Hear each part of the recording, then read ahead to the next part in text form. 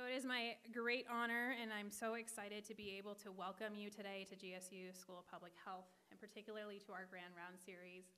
Um, welcome to those of you in person. So lovely to see so many amazing faces here, as well as welcome those who are joining us online.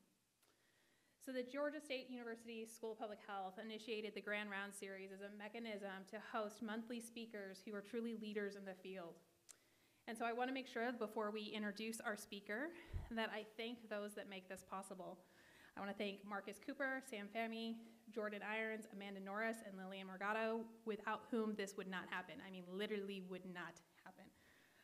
Um, I also want to thank the Grand Rounds Committee for being able to help us identify so many fantastic speakers who will be joining us this semester, including uh, Dr. Kramer, who you'll be hearing from today. Um, I look forward to joining or having you join us at future Grand Round sessions, including next month when we will host Dr. Jennifer Hirsch from Columbia University, as well as Dr. Ribeiro from, um, who is currently a Fulbright chair at Emory University. But today, before we get to all of that, it is my pleasure to introduce Kathleen Baggett, the director of Mark Chaffin Center for Healthy Development and associate professor, to give the full and proper introduction of our speaker, Michael Kramer. Kathleen?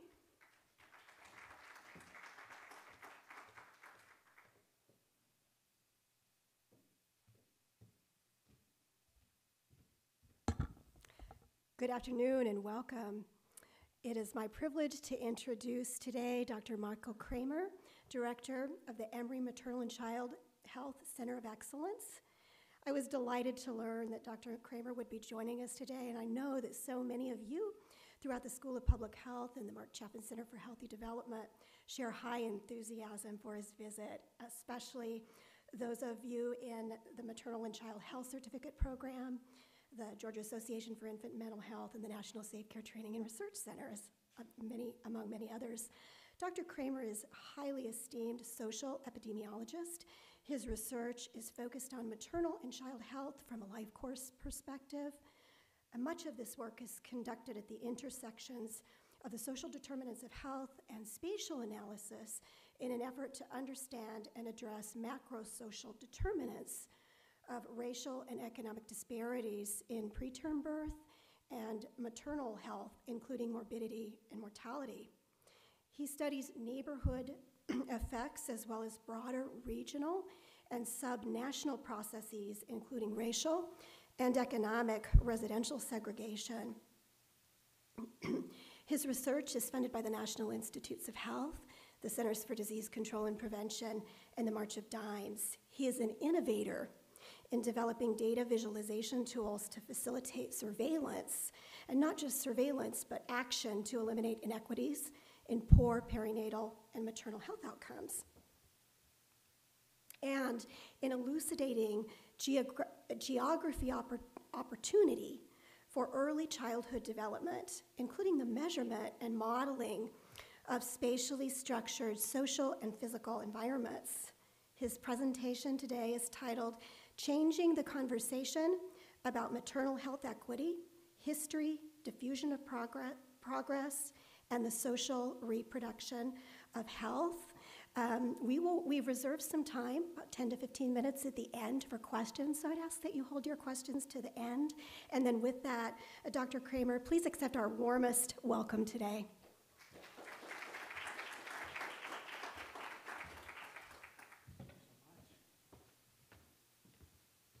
All right, let me get my technology working. Does that sound work from here if I move around? Okay, cool. Hi, welcome everybody. Thank you all so much for coming. It's been such a pleasure to be here today. It's an honor to be invited, and I've had just really a wonderful time meeting with some faculty, meeting with some students. It's been, um, it's just been very pleasant. Uh, so I appreciate that.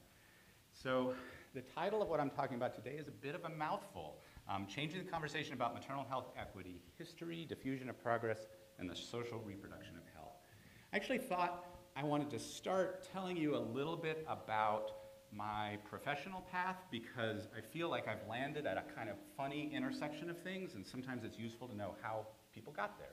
So I uh, got my undergraduate degree in, an interdisciplinary major that was kind of sociology, anthropology in the early 90s. And at that time, I was interested in the idea of providing, extending healthcare access to communities that were underserved. I grew up in uh, the mountains in eastern Kentucky, and I was uh, in, influenced in my growing up by sort of the extent of um, concentrated poverty and a lack of resources, but also the resilience of communities. Um, there were also then the overlay of sort of uh, extractive influences in the region and the way they shaped uh, the, the communities there. So I thought when I graduated that maybe what I wanted to do was get an MPH. And at that time, I thought policy was the thing that I was interested in because um, I was interested in extending care. But a friend of mine uh, had entered a, a, physician assistant program, and this was in the early 90s, and nurse practitioners and PAs were kind of increasing their prevalence as uh, at filling the gap of um, unmet healthcare needs, particularly in rural communities. So that was convincing to me. I thought, okay, I have this sort of liberal arts undergrad. I'm really good at thinking. I can't actually do anything. So maybe getting a degree where I could do something would be really great. So I became a PA. Again, interest was still in delivering healthcare to underserved communities, but instead of kind of going back to the southern Appalachian Mountains, um, I ended up working for some time at Grady here in Atlanta. I worked at the Ponce Clinic, um, providing essentially primary care services to people with end-stage AIDS. This was right at the um, junction of when highly active antiretroviral therapy began. So at this point in time, AIDS, HIV led to AIDS, and AIDS almost always led to death. And so we were managing care in that stage um, just as, as HAART was coming in. So that was a great job. There were lots of things I loved about it, but I had this opportunity to go back to a place I'd been uh, as a student uh, on the Navajo Nation in the Southwest. And so I moved west with my family and uh, worked for a tribal hospital, not an Indian Health Service hospital, but a tribally run hospital um, that was in the middle of the desert, uh, an hour from the nearest grocery store. We provided um, a lot of outpatient services, limited inpatient services, and I was still providing primary care, and it was great. But I burned out after a while. Um, I burned out for a few reasons. One is I realized I'm kind of introverted, and the kind of uh, thing that you need as a clinician is to have 45 intimate relationships a day, and that was exhausting for me. I couldn't do that. Um, in addition, I realized that the thing that I started off envisioning, providing access to care for underserved communities, was really difficult to do in a one-on-one basis. I, I, felt like I was routinely um, putting figurative and literal band-aids on population health problems. I felt like I wasn't working in the part of the problem that I was interested in. Now, I talk to people who are in population health and they wish that they could be applied clinic clinicians because they feel like they want to have kind of more hands-on impact. So I guess the grass is always greener. But for me, I felt like I was providing individual solutions to population problems. Um, at the time, I kind of became introduced to the idea of population research, and so I returned and, and got a PhD in epidemiology. I planned to return to the Southwest and basically work at an institution that would be providing, teaching the, the public health workforce for the area. Um, but I had children and a partner, and they had opinions, and they got embedded here, and we didn't move to the Southwest. So instead, I stayed here and developed this sort of mix of interests that I'd landed on. Maternal and child health, partly because it met this sort of interest in a broad spectrum of health across the life course, not super like organ specific, but really population specific. Um, and then this idea of social epidemiology. I've always been motivated by the way that health is produced not because of what's under our skin, but because of the ways we organize ourselves. And a lot of that is apparent in spatial patterns, and so I began doing a lot with spatial methods. So maternal and child health, uh, po uh, population health driven by socio-structural processes is kind of where I landed. So maybe that does or maybe that doesn't kind of give context for like what I'm going to um, share today. Uh, but for me, it feels like a very natural progression of events, and I think it, it, it sometimes is useful to connect why that is. So why do I think maternal and perinatal health are important for public health research? I think they're important for a couple different reasons. I mean, from the point of view of populations, it's hard to deny the fundamental role of reproduction for population health, right? So there's the value of taking care of ourselves at this important life stage. But from the point of view of thinking about social determinants I think pregnancy is a really incredible model for understanding the biological embodiment of social experience. It's a, it's a time in our life when we're particularly sensitive to the biological changes that are influenced by social things. And so we can maybe use our, our understanding from studying social patterns in maternal and child health, health outcomes to, to generalize uh, much more broadly. So that's been kind of what drove me here.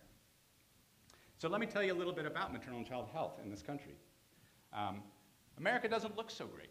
Um, if we compare ourselves to other countries, for example, on preterm birth, we rank 34th out of 34 high-income countries in terms of our preterm birth rate. If we compare ourselves to other countries on our infant mortality rate, so the rate of babies who die in the first year of life, we rank 33rd out of 35 high-income countries in terms of our infant mortality rate. And maternal mortality, or pregnancy-related mortality, has been in the news a lot in the last few years. And if we compare ourselves to other countries in maternal mortality or pregnancy-related mortality rates, we rank 34th out of 35. So clearly, despite spending an incredible amount on health, as a population, we're not doing exceptionally well. Now, that's comparing ourselves to other parts of the country, but we can look within the US and also see variation. And so, as population health scientists, we, we exploit variation to understand something about possibly causes and possibly opportunities for prevention. So, for example, we can see variation by geography. So, this is just a map of infant mortality rate by state. We can also see variation or disparities in perinatal and maternal health outcomes by socioeconomic status, for example, by income or by maternal education. And we can also see disparities or variation by race and ethnicity. All of these are important. There are also other social dimensions across which we probably have unjust inequalities, right? So differences between population groups and their health outcomes that are not just due to biologically essential traits, but are due to something uh, that is potentially preventable. Um, that being said, for the rest of the talk, I'm going to use examples that primarily focus on this last one, racial ethnic disparities, because those are salient in the South. They are salient with, with respect to um, social and structural determinants of health, um, and because they just let us focus in a little bit. So my focus today on racial ethnic disparities is uh, as an example, but we can certainly uh, look at variation across economic, class, or geography, or migration status. So let me give you a few numbers about racial disparities in perinatal outcomes. So I'm going to show a few graphs like this. Um, this is the black-white rate ratio in preterm birth. So 1.6 means that um, babies born to black moms have about a 60% higher risk of preterm birth than babies born to white moms. If we look at low birth weight, low birth weight is a baby that's born less than 2,500 grams. That black-white racial difference is about twofold. If we look at infant mortality, it's about 2.3-fold. If we look at very low birth weight, babies less than 1,500 grams, this is a smaller group of babies, but at much higher risk of mortality and morbidity. There's almost a three times higher rate of disease or morbidity um, for babies born to black moms as babies born to white moms. And if we look at maternal mortality, so death during pregnancy or following pregnancy as a result of the pregnancy itself, there's between a three and fourfold difference in racial disparities. So what I've just done is a thing that we do a lot in disparity scholarship, is we throw a bunch of numbers at you, and we kind of assume that the internal conversation, the interpretation of those numbers, is shared between what's in my mind and what you hear. But what I would like to suggest today is that the way we talk about health equity is sometimes incomplete or decontextualized. And as a result, we may inadvertently imply to people who are listening, policymakers, stakeholders, community groups, communities who are affected, things that are different from what we understand to be going on. So I would make two arguments today about ways we can change the conversation. I recognize that for many of you who are already working in health equity space, these are things you're thinking about. So I'm not necessarily coming up with novel ideas, but I want to put them in this particular context. My first uh, sort of case for how we change the conversation with respect to health equity is thinking about, well, what do we mean when we say there were threefold, twofold, one and a half fold disparities? Who's responsible. So can we talk about who or what is responsible? What I mean by that is can we shift from what is the default assumption for a lot of folks, which is that it's an, something about the individual, biological essentialism, so it's like their genes, or individual behaviors or choices, right? So this idea of reductionism, can we shift from reductionism to social production or social determinants of health? So I'm going to give an example of what I mean by this. I don't know if folks have read um, Jeff Rose, who was a, a, a British epidemiologist, um, is dead now, but was famous for um, some interesting ways of thinking about clinical epidemiology and population health science. And um, his paper, Sick Individuals, Sick Populations, is, I think, very motivating for how I think about problems. And I'm going to I'm gonna adapt an example that he gives in that paper to perinatal health. So what I'm showing you here is a density plot of all the babies born in the US in 2017 by their birth weight. So on the x-axis at the bottom is the birth weight. And the y-axis, how tall this is, is basically like how many babies at that particular birth weight, right?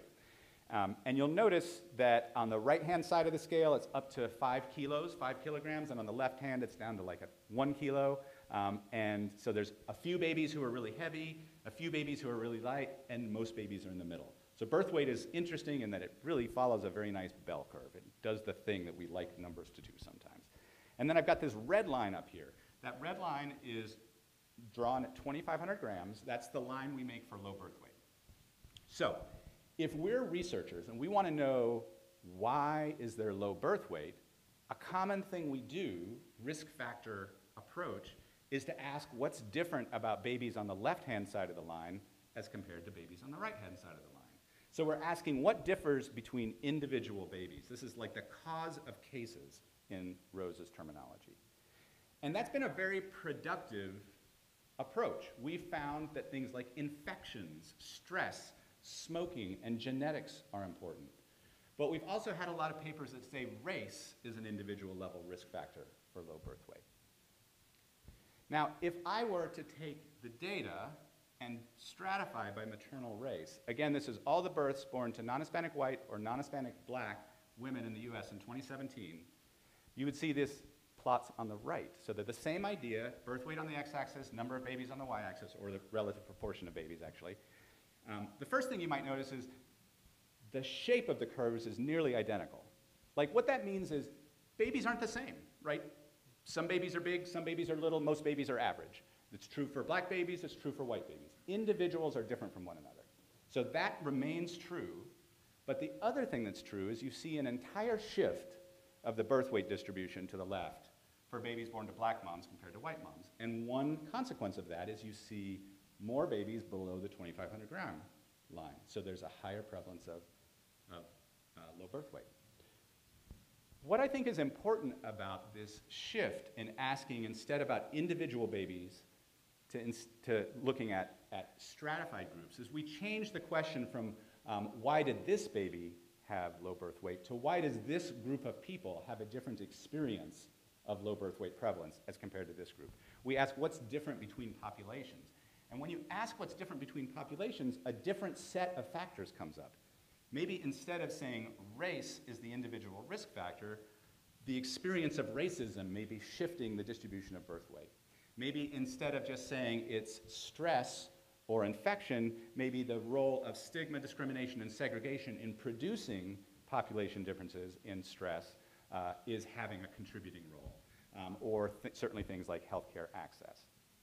So this idea is simply just understanding that when we're thinking about individual risk, we might look for individual factors, but when we're talking about equity, the difference between groups, probably the default should not be, are there genetic reasons why these two groups are different? The default should be, what are the social lived experiences that might explain this?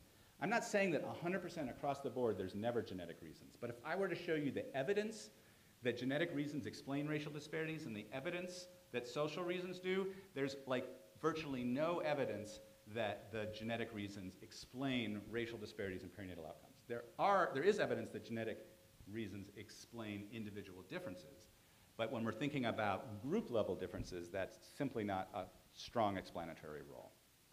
So we took this idea a little bit further. We thought, okay, So we can think about variation in uh, risk between individuals, um, recognizing that we live in places and places in code or are embedded with social experiences. I wonder how risk varies across places. So we did a study across 231 cities where in each city we estimated the rate, in this case it's very preterm birth, so a slightly different outcome but correlated, uh, the, the rate of very preterm birth for black women or white women in each city. So here, instead of individuals, um, what's on the y-axis is how many cities there are, of 231. And then what's on the x-axis is the number of very preterm births per 1,000. So just to give you some idea, um, the highest risk city during the study period for black women was in Lubbock, Texas, and the highest risk city for white women during the study period was Florence, South Carolina. Lowest risk city for black women, San Jose, California, and San Francisco for white women.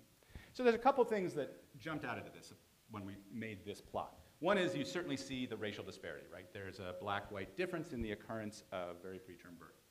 Um, you also see that it's so profound that uh, black women in the quote-unquote best cities have risk about equal to white women in the worst cities.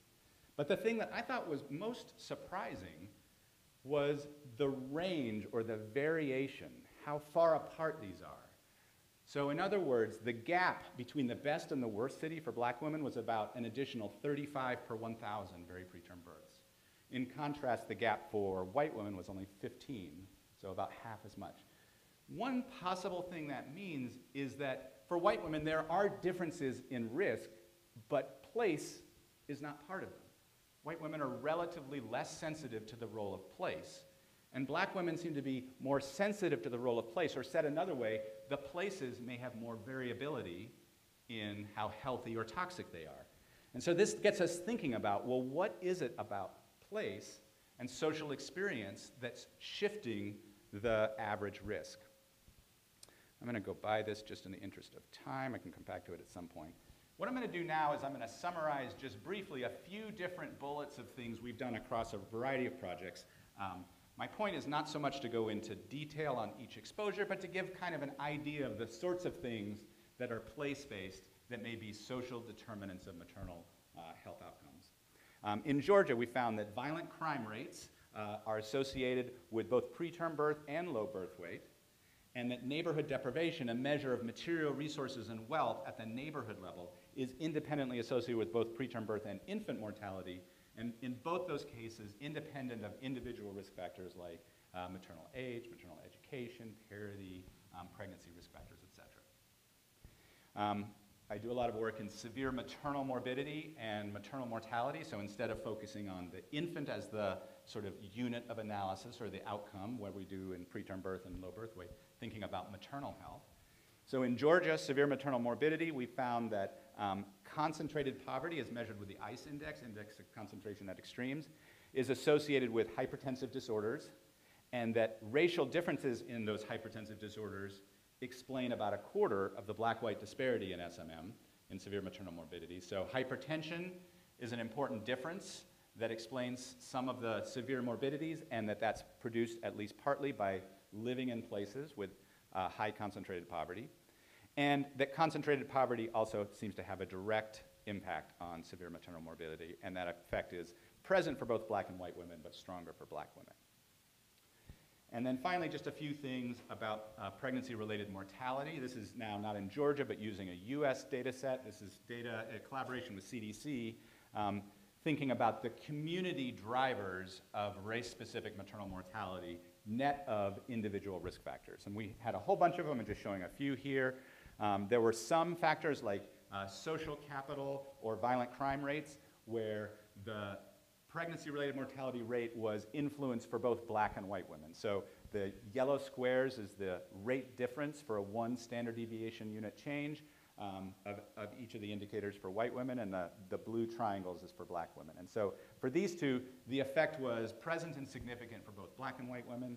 But there are other times when the exposure seems to have a racialized experience. In other words, the measure in a place is strong for black women and absent for white women. This idea that one might, that two groups of people might experience the same place differently. In this case, this is per percent of households who moved in the past 12 months or percent of households with severe housing problems.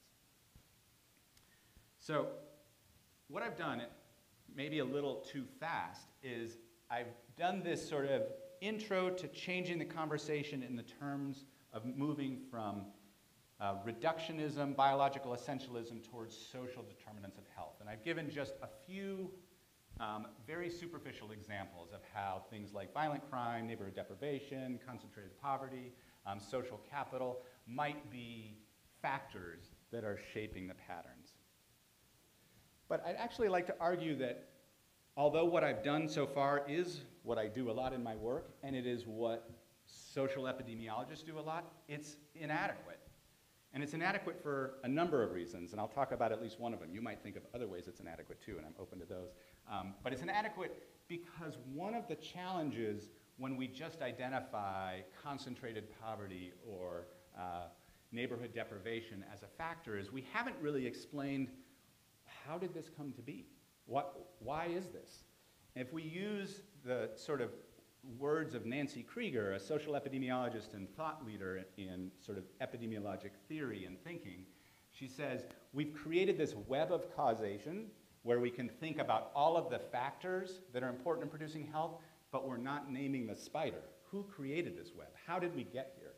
And one of the challenges that occurs with social determinants of health research is we produce a ton of research that isn't immediately actionable and it isn't uncovering root or fundamental causes. So, my second argument for how we can change the conversation is thinking um, when and how are inequities reproduced. So, how do we change from what I'm going to call actorless social determinants of health, these metrics of neighborhood things that's, that we treat as if they just were randomly thrown out into the world and not created through systems and history. Um, how do we switch from that to structural drivers of health? So this is a figure, I recognize that it's, um, you, you can't uh, read all of the detail, but this is a figure that was in a paper um, on uh, history, racism, and sexual and reproductive health, a review of historical and contemporary evidence. Um, and what the authors were suggesting here is that the production of health, and particularly um, production of health differential by race, is, is a product of a lot of things that have happened over time. So what we've got is this timeline that ranges over 400 years, um, starting from 1619 through current times. And what each of the lines are under the main line is the layers of various policies, practices that shape, among other things, sexual and reproductive health. And so we can see this pattern of recurrence over time and across generations that is part of the context that brings us to where we are. So to kind of dig into this, I'm going to um, show an adaptation of a paper we did on heart disease originally, and we've now adapted it to a perinatal outcome, um, examining a, a, hypothesis called the legacy, legacy of slavery hypothesis. Um, and it started from seeing something like this map. This, somebody shared this with me at some point. Uh, I do lots of spatial things. People send me maps all the time. It's one of my favorite things. And this one landed at a time I was doing work on mapping a variety of health outcomes. And it, the map struck me because it looked like some things I was working on. This is a map that apparently uh, President Lincoln had commissioned by the Census uh, Bureau in 1860. Uh, and it is a map that shows the proportion of people in every county who are enslaved. So it's a slave concentration map. And it's showing how uneven the concentration of slaves was across the South, something that I naively didn't, gra- I didn't understand. I kind of thought slavery was sort of ubiquitous across the South, but that it varied over, over space is interesting to me. So this is that exact same data except put in a more modern GIS, and I do that because I wanted to show you the prevalence of very low birth weight, babies born less than 1,500 grams, between 2015 and 2017, so like just a few years ago. So uh, darker colors means higher prevalence, lighter colors means lower prevalence. Let me just go back. This is the proportion of people enslaved in 1860. That's the prevalence of very low birth weight. That's slavery. That's very low birth weight. Clearly, they're not identical. But there's something that seems overlapping or similar. And we're not comparing to people in Vermont or people in Iowa. We're comparing like counties in Mississippi that had a high slave concentration in 1860 and counties in Mississippi that had a low concentration in 1860. I didn't know exactly what to do with this when I saw this. It was interesting. And so, as I think we need to do a lot in public health, I went out of my discipline and looked for what people are doing elsewhere. And what I found in history, sociology, and political science was this burgeoning literature around the legacy of slavery hypothesis. And we use that word, the legacy of slavery, a lot, but this hypothesis is um, specific to the idea that places have a historical dependence on their initial economic foundations, and that that dependence carries forward through time, that a dependence on a slave economy in 1860 didn't just er get erased at the end of the Civil War. So that there may be ways that institutions, structures, cultures, norms in specific places in the South continue to be shaped by that legacy, by that history. So let me just give you kind of a high-level summary of the literature um, that, again, is mostly not from public health, and then I'll connect it back to our maternal and child health outcome. Because my question is, is there some reason to link this historical context to this contemporary health pattern? Um, if we look at lynchings, which were a form often of sanctioned political violence used for racial control, if we look at the pattern of lynchings distributed across the South, they are highly correlated with the places that had high slave concentration in 1860. So places with low slave concentration in 1860 were much less likely to have lynchings during the 20th century. If we look at disparities, black-white gap in the poverty rate in counties across the South. So there are black-white disparities in poverty rate, but they're not the same everywhere. Some places they're bigger, some places they're smaller. If we look at those disparities, they are strongly correlated in 2000 with the slave concentration in 1860. So there are African American families living in counties with low slave concentration, and their poverty rate is more similar to the poverty rate of whites in that place. So it's the difference of having a higher gap or a lower gap in counties with higher versus lower slave concentration in 1860. Um, similarly, there's larger black-white disparities in, in, attained education in the 20th century that's correlated with slave concentration in 1860. Uh, if we look at white families' willingness to send their children to public schools, white families' disinvestment from public schools is strongest in counties with high slave concentration in 1860. And if we look from the political science literature at sort of racialized resentment, feelings, emotions, there's greater white resentment of blacks in counties with, in, in 2006 to 2011 that themselves had high slave concentration in 1860.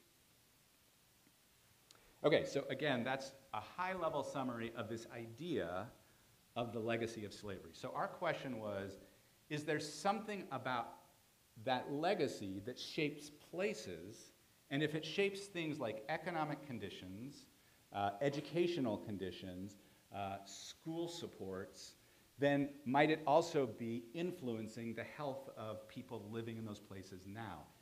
irrespective of whether their ancestors were from those places, right? So I'm not necessarily interested in testing a hypothesis about literal transgenerational trauma, which is a thing, but saying that something about those places, the structures and institutions, persist in a way.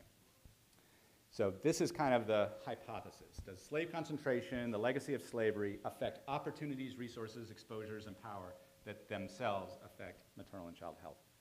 And the answer was yes, to some degree. Um, so just uh, to give an overview of this, this is a model, modeled estimates of county level prevalence of uh, very low birth weight.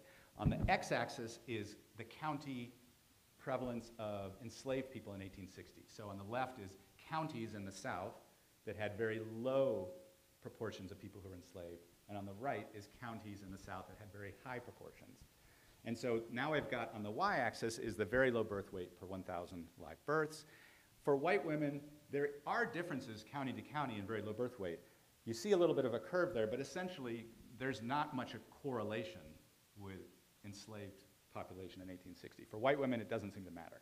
But for black women, we see a relatively consistent increasing risk in very low birth weight as you move from their experience living in a county, say in Mississippi, with low history of slave concentration to living in a county with a high history of slave concentration.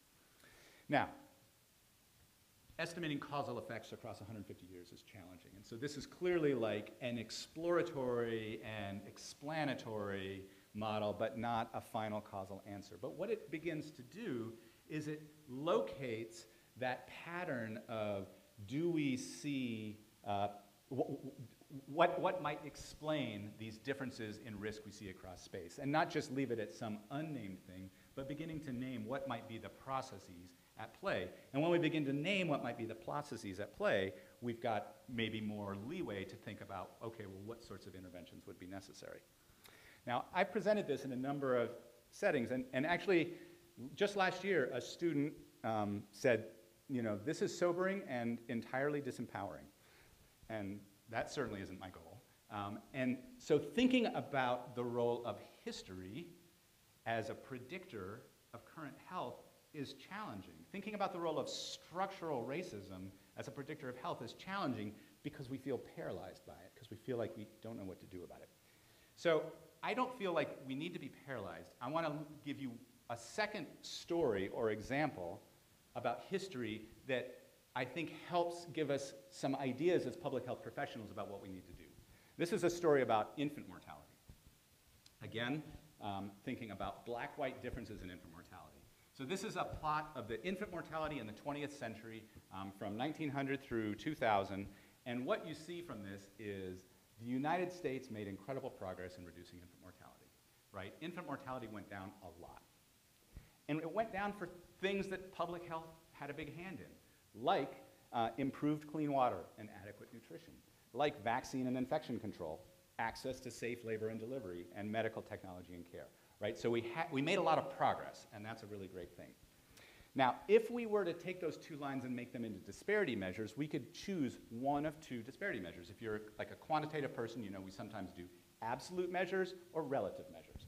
So the sort of yellow line is the black-white rate difference. This is like the subtract the white difference from the black difference. How far apart are they? And if you look at that line, you would say, whew, we're doing great because we have almost eliminated racial disparities in infant mortality. The other line is on the right-hand y-axis, and that's the rate ratio. And so you might say, well, which one should I pick? But the rate ratio is saying essentially at every step along the way, as the rate went down, it always went down faster for white babies than it did for black babies. So they always stayed about twofold apart. In fact, I think just mathematically, it's fascinating that um, if you look at the scale on the right, the black-white rate ratio in infant mortality has been about two for almost 100 years, which is kind of incredible given the changes in the underlying causes of mortality. So that's what I want to talk about, the underlying causes of mortality. We thought about this idea, like what explains the persistence, the reproduction of inequality in infant mortality, even as we introduced all these great new innovations, like clean water and medical care. Um, okay, so I'm going to show you three plots that look a little bit like this. Again, to orient you, time is on the x-axis, so from 1920 through 1990 or 2000. On the y-axis now, what I'm showing you is the black-white rate ratio. So these aren't rates, this is the, the racial disparity. So if you look at this, you can see that the racial disparity started low, and then it got higher mid-century, and then it went down again. That's what this is showing. What is this? This is infant deaths from gastrointestinal disease. That's basically diarrhea. Babies who died from dehydration related to diarrhea. All right. So in the beginning of the century, black babies and white babies died from diarrhea at about the same rates. So again, this isn't rates. This isn't saying there was a low rate. There was actually a really high rate. It was high for black and white babies. It was similar. Okay? But something happened in the middle part of the century where black babies were dying from diarrhea way more, like up to sevenfold more frequently than white babies. Well, if you look at the patterns, and people have sort of unpacked this across the US of how clean water rolled out, it didn't just like suddenly become available to everybody. And if you were to guess, who did it become available to first? You would probably be right if you guessed that it became available to people with money and power. And so it became available to white communities and high-income communities. What that would mean for a rate ratio is white babies' death from infant mortality went down as they had increased access to clean water. Black babies' infant mortality from diarrhea just didn't change, and as white babies went down, it made the relative gap bigger and bigger. But of course, we have clean water almost everywhere now. So eventually, progress diffused to those communities. And so we see this decline in the racial disparity in the latter part of the century. So people caught up, it just took some time. All right, so that's uh, diarrhea as a cause of death and water. We looked at another cause of death infant mortality attributable to prematurity. So being born too early. Interesting, uh, similar pattern, right? We see in the beginning of the century that white babies and black babies who died from prematurity uh, did so at about the same rate, so that there isn't much racial disparity in death from prematurity. But somehow in the 70s, 80s, 90s, the racial disparity attributable to prematurity increased dramatically and then seems to be decre- decreasing. So, what happened in there? Well, we had a new invention. It was called the NICU, the Neonatal Intensive Care Unit, which was a highly technological form of medical care that enhanced the survival of very little babies. So, it lets you deliver preterm and not die. So, death due to prematurity for babies who had access to a NICU declined dramatically as NICUs became more popular.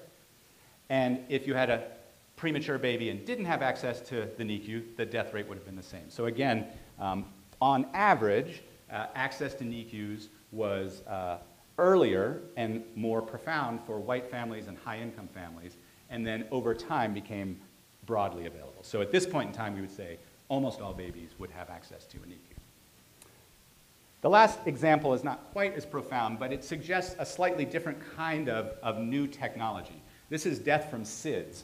Uh, so SIDS, of course, didn't even have an ICD code until 1980, so that's why the line starts later. And we see this little blip that sort of mimics the previous two. It's not nearly as strong, as I said, um, where we do have a racial disparity in death due to SIDS. And uh, if we look here, one possible explanation is the very first sort of public health messaging to prevent SIDS was the Back to Sleep campaign. And if you were involved in that, in the early days, there was a communications problem. And the communications problem was we did a great job messaging white middle class moms, and we didn't do a great job messaging everybody else. So again, the technology, instead of being clean water or fancy NICUs, the technology was knowledge, but it wasn't diffused in an equal way, and it therefore exacerbated this disparity, at least for a period of time until there was a correction. So what I'm showing here is an example of what Link and Phelan have called fundamental cause theory, the idea that uh, racial or economic or geographic disparities don't exist just for one reason. They exist because of access to resources, the resources that are needed for us to be healthy. And you could, it's like whack-a-mole. You could fix one thing, but if you haven't fixed the resource problem, the, the, the power problem, then the next thing that comes along is just going to be the same. We're going to have unequal diffusion of, um, you know, new genetic screens, of access to vaccinations, of the ability to stay home during a pandemic, things like that. So when I think back to that student who said, this is sobering and it's disempowering, I have to think, okay, what are the messages that we get from public health about history? Like, how do we not feel disempowered uh, by connecting current health to historical things. I think one is thinking about this diffusion of progress. If we're the people who are producing new innovation, we need to produce innovation, but we also need to think about implementation. And we need to think about equitable implementation. So if we're developing a new COVID vaccine or thinking about a new stay-at-home policy or thinking about a new screening process for PrEP or distribution process, you know, whatever we're thinking about is the innovation, are we thinking about how it's going to be equitably distributed? If we're not, it's almost inevitably going to reproduce the underlying disparity. It could be everybody goes down, but somebody's going to go down faster, and that group isn't just randomly chosen.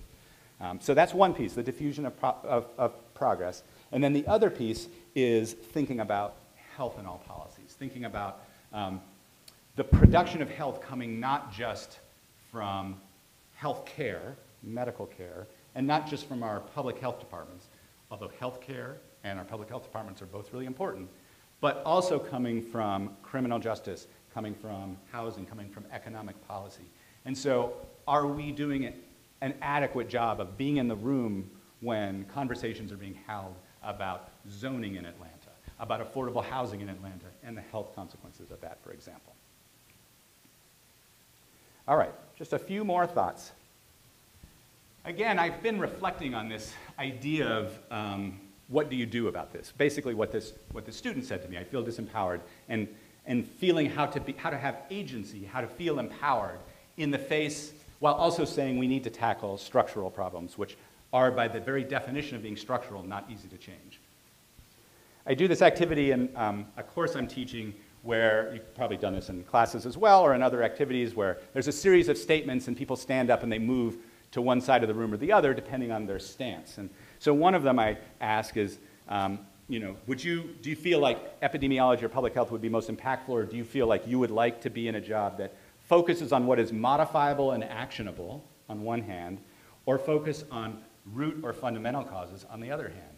And this tension between I want to fix things that policy can fix right now versus maybe what policy is fixing right now is just reproducing the fundamental problem and where do we find ourselves and i think we're mostly pragmatic people and we, we want to find ourselves in a place of doing useful action and so i struggle with this where i am on this spectrum as well and i think about the, the kinds of hats or roles public health plays in a society so we could think that maybe who, what you would want to be is a scientist. You're uncovering patterns and developing some kind of actionable knowledge. But maybe what you want to be is a technologist. Like, you're not developing new knowledge, but you're manipulating and engineering existing knowledge to improve outcomes. So maybe we know what we need to know. We just need somebody to make it work, right? Well, maybe we're technocrats. I sometimes feel like a technocrat, administering and managing the structures of public health for optimal outcomes. Or maybe you're really drawn by being an advocate, right? So taking a side and making an argument for a preferred kind of action for change. Probably all of us have some portion of all of these things, but I think people find themselves in different places. And I think it speaks to that idea of do you find the sort of passion for your work and the impact of your work um, working kind of within systems? Do you find that working outside of, you know, at least some of the institutions? Um, or do you find some way that you bridge across that? And I don't know where you are. I often don't know where I am either. I feel like what I want to be is a scientist and an advocate, and I feel like in practice I'm a technologist and a technocrat. Um, but okay, so just a couple final thoughts to summarize what I've talked about today. Um, the status of equity in maternal and child health outcomes is a barometer for the entire society. I feel like uh, you don't all have to become interested in maternal and child health, but I think MCH becomes an indicator that's very potent for understanding other things. If we're failing mothers, infants, and families, then we're probably failing in other ways too. So, or if we're succeeding in the health of mothers, infants, and families, then hopefully we're succeeding in other places. So I think it's a useful indicator and, and a useful frame for thinking about health equity and and the biological embodiment of social experience. Um, in terms of changing the conversation, I think two things I've touched on today. One is to reset our default thinking. And again, I'm not saying it's all your all's default thinking, because again, if you're working in the health equity space, you're probably already thinking about social determinants of health and not just individual level factors. But resetting the default thinking that if you want to know why individual people are different from one another, then study individual people. But if you want to understand why groups have different experiences, then you need to think about what is different about the lived life of those groups. Now, of course, we're not all homogenous in a group. There's variability. We're not all one group. Um, we're not all identical. But this idea of thinking about um, health equity as something that is not just contrasting individual experiences. And then finally, all of us, me included, need to think about when we're producing knowledge, research studies, evidence that uses social determinants of health but doesn't provide any guidance or context as to how they came to be, then we're probably missing an opportunity to understand the production of them. If we're interested in the food environment and the presence or absence of food, it could be that just plopping a Kroger down in every neighborhood without a Kroger would help. But if the underlying process of the food environment is not just about the absence of the Kroger, but about a whole series of cultural and experiential things around food and food scarcity and access, then plopping a Kroger down by itself is probably not going to be adequate. So thinking about how our individual decontextualized social determinants of health are part of some sort of a structural or historical process. And that's all I got for you. So I am pleased to be here again, and I'm happy to have more conversation. Thank you all.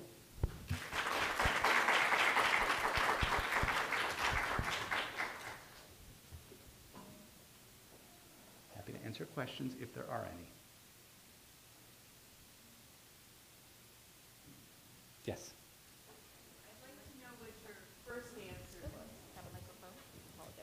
I'd like to know what your first answer was to the student who said they felt disempowered. Yeah, so I stopped the lecture and sat down, and we talked a little bit about it. I, you know, so this idea of the diffusion of progress, I felt like was a call to action for public health. But I think in that case, I had emphasized, I'd overemphasized the history and de-emphasized the fact that there were opportunities at every step along the way for public health or for people to change the legacy of slavery. You know, thinking about how our institutions work in places, thinking about how information is shared and available, thinking about how healthcare services are available and accessible. So I think the lesson from the legacy of slavery kind of idea, metaphor, analogy is guiding us about missed opportunities. So the first thing I said to him, first we, under, we understood what kind of was the problem. And then I think the feeling, I think it, people want things that they can fix now. And, and it's hard, I, I feel like health equity isn't something we're fixing now, but we need to do a lot more work to be fixing it. And if we just keep kind of pretending like a brochure that provides health behavioral ed education about hypertension control will eliminate the racial disparity in hypertension, like that's clearly not enough. Um, and just having an FQHC in the community is probably a step in the right direction, but not enough. Like, I feel like we need to think about systems that have been produced over time and that need work over time.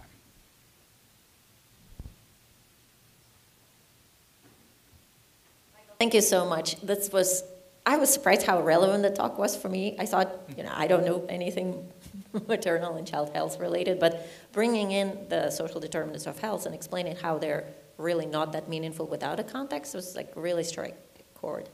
Um, my question is, in situations with other health problems where you don't necessarily have the racial gap, mm -hmm. so for example, for smoking, mm -hmm. it's not so much uh, delimited along the racial lines, but more along socioeconomic. So, like, smoke it is concentrated in people who are poor and uneducated. Um, what would be the hypothesis maybe for that, similar to like legacy of slavery? What would you look for mm-hmm. in that case? Well, smoking is interesting. So first, let me just say I'm not an expert in smoking. So if I say things that are, I, am going to summarize some things that I've gleaned, and I might say things that are wrong, and you can correct me. Um, it, the patterns of who smokes has changed a lot, right? So when smoking first started, it wasn't like low income, right? So what that means is smoking as a behavior is socially produced, and it's produced through what is sort of valued and maybe uh, through uh, marketing. So I would say kind of an underlying thing for what we see about smoking today is about our relationship to kind of capitalism or marketing or the idea of how a product um, can be sold for a profit, even if it hurts people. And so choosing marketing strategies that target certain communities or uh, having uh, marketing that is, um, or shops that are only located in certain communities is an example. Those things don't happen by accident, right? They happen as tobacco companies are navigating kind of a regulatory environment and trying to figure out how to optimize profit. So I think I think there are structural things that play a role in class-based differences, in geographic differences, in race-based differences. Um, and in that case, I think, you know, tobacco manufacturers are not neutral players, right? And, and so I think thinking, recognizing that they're not neutral players and that their purpose is optimizing profit um, is a lens through which we can approach um, class differences, socioeconomic differences in, in tobacco smoking. A, a, a, corollary of that is, you know, we do want to provide, I, I don't want to, when I say structural and social determinants of health and de-emphasize individual, I don't want to say that we shouldn't provide information, knowledge, assist individuals. Like, people are different from one another, and people need all kinds of things, and they may need smoking cessation programs and whatnot. But if we think that the solution to socioeconomic differences in smoking as individual education, then we've stepped out of even entertaining the role of the structure that changed smoking from being something that mostly wealthy white men did to something that mostly low-income people do, right? It, it, it, the, the smoking itself was never inherently class. What, it's not like poor people have a gene for smoking, right? It was produced, and it was produced with intent, and the intent was optimizing profit for a company, how we organize lots of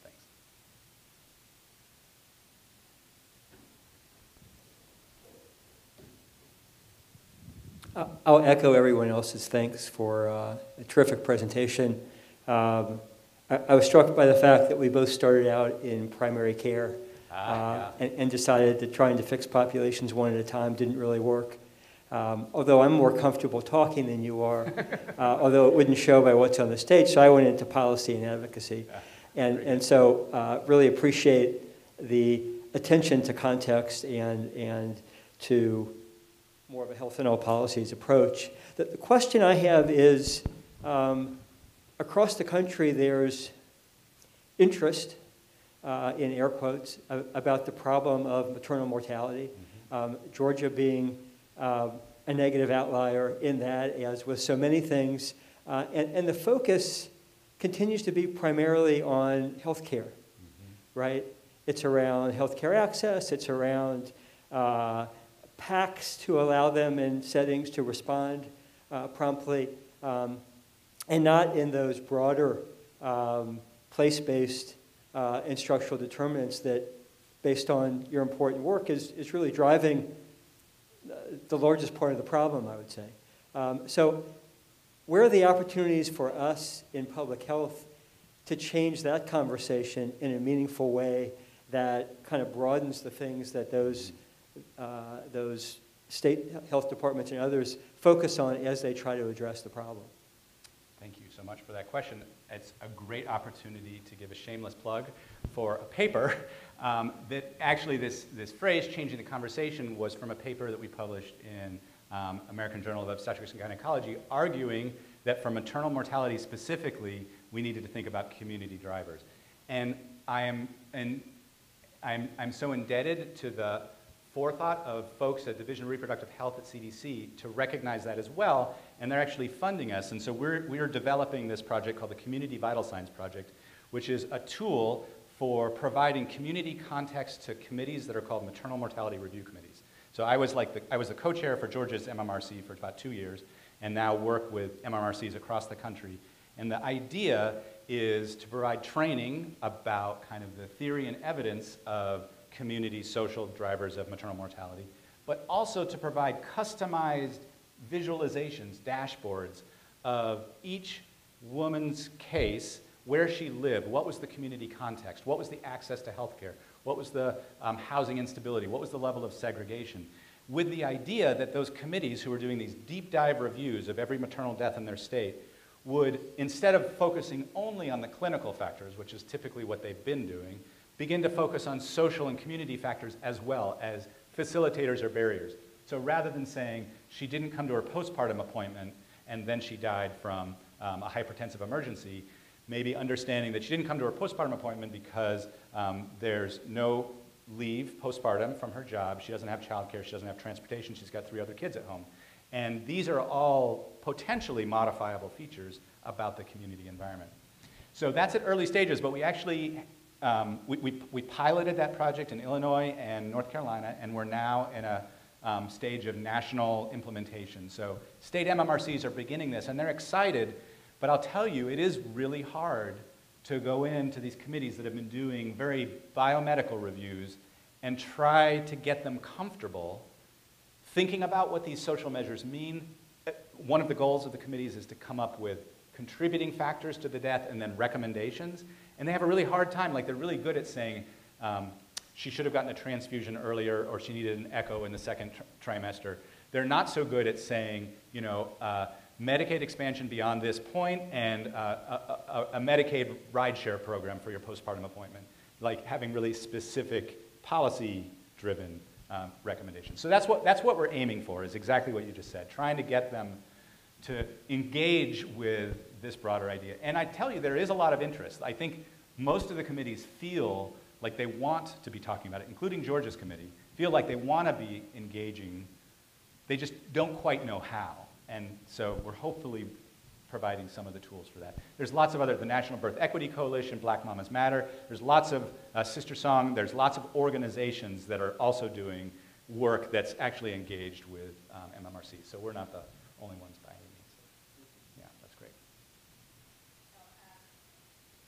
Looks like we are out of time. Oh, no, Uh, Want to thank uh, Dr. Michael Kramer for joining us today for a truly fantastic talk. I know that those in the room enjoyed it as well as those online. Um, So just thank you so much for joining us, and for those here and online, we look forward to seeing you on February 13th for our next Grand Rounds, which again is featuring Dr. Jennifer Hirsch. Thank you all.